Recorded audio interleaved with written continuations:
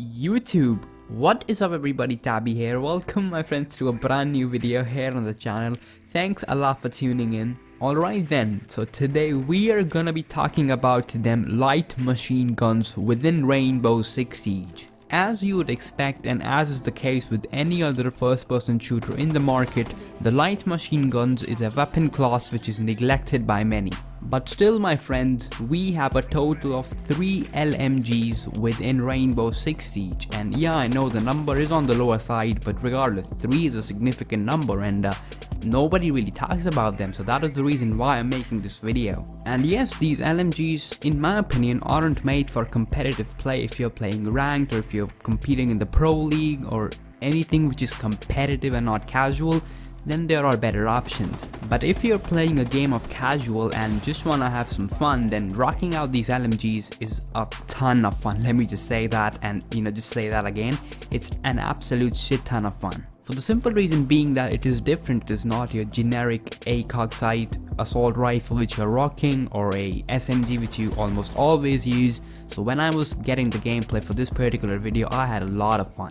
So let's then talk about the LMGs which we have within Rainbow Six Siege. As I previously said, we have a total of 3 of them and they belong to obviously 3 attacking operators. In no particular order then, first we have Fuze with his 6P41 LMG. We've then got Capitao with his M249 LMG. And finally we have IQ with her G8A1 LMG.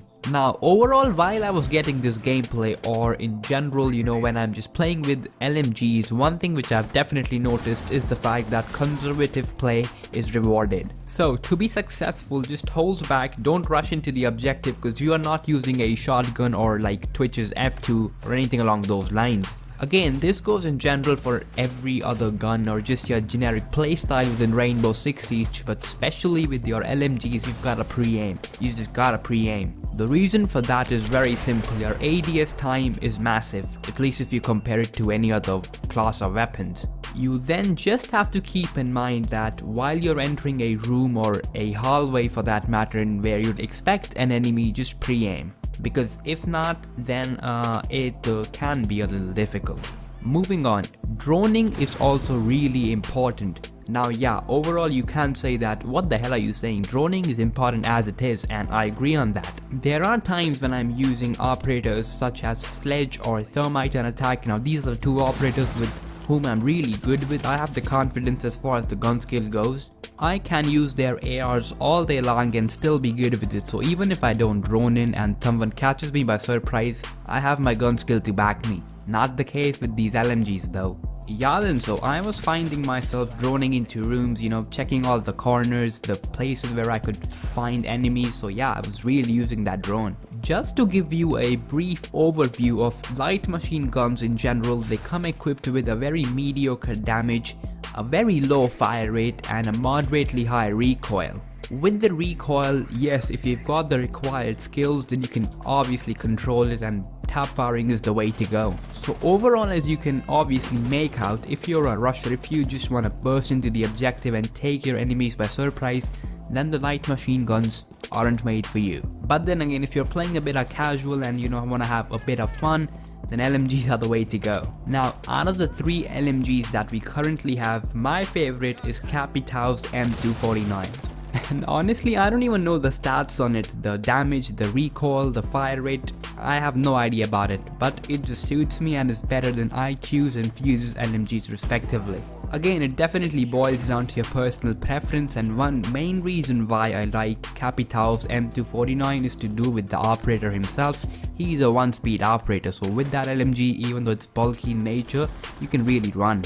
Now obviously one major benefit of a light machine gun is its insane firepower because it's got a humongous magazine size. Apart from IQ though cause on her LMG she's got 50 rounds in the magazine. On a basic level though if you take any rational player for an entire round you will not need to reload that light machine gun unless obviously you're using IQ's LMG and you really go ham with it. So yeah, you've got some serious firepower to back you and you can really dump those bullets downrange. But yeah, as I previously said you guys, tap firing, burst firing is the way to go. If you go full auto, that recoil can get the better of you. Before ending this video though, I just want to talk about the potential of seeing new LMGs added into the game cause guys, go back to your year 2 roadmap for Rainbow Six Siege and you can clearly see that they're going to be introducing some new primary as well as secondary weapons. Now honestly speaking, light machine guns would probably be their last choice. They will obviously favor some machine guns and assault rifles and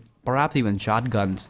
But with only 3 LMGs within Rainbow Six Siege, I guess we'd be happy if we could see another one. Now I know the majority wouldn't vote for it because again we don't use it all that often. But perhaps to change things up a little bit more, a new LMG for a new operator. 4 new attacking operators is what we'll be getting and you know one of them can come with a light machine gun. Just for a second though, it, you know just a second ago struck me, what if a defender gets a light machine gun, how will that change the meta? Because again, no defender as of today, the day I'm recording this video, has access to a light machine gun. And boy do I not love to see changes. Changing the meta for Rainbow Six Siege really freshens things up and I would be happy with it. So yeah then, what do you guys think? Leave a comment letting me know the potential of a new LMG in the future, perhaps even a defender getting a light machine gun for that matter, be sure to leave a comment. As always, you guys are absolutely amazing. Thank you so very much for watching this video if you enjoyed. Be sure to leave that like. That like is really important so make sure you click the thumb which is facing in the upward direction. And as always, if you haven't already then click that red subscribe button because it's meant for a reason, right? It's been Tabby here and until next time, farewell. And just forgot to say, but I'll uh, let this gameplay run by in the background, about a minute of it is left.